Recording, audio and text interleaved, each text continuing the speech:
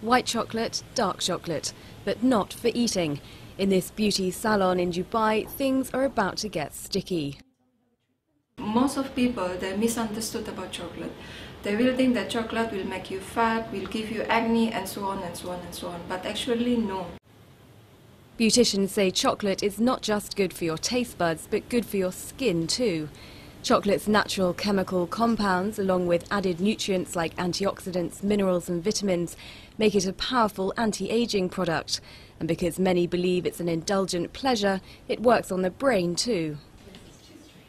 I love chocolate. I love how chocolate smells. And it just feels great to have it on your skin, actually. Um, it was so, so, so good. And the whole treatment, you just feel the smell of chocolate. It's quite relaxing, actually. Dark chocolate exfoliates, white hydrates, leaving skin feeling silky smooth. Guilt-free, fat-free pleasure for chocolate lovers looking for their next feel-good fix.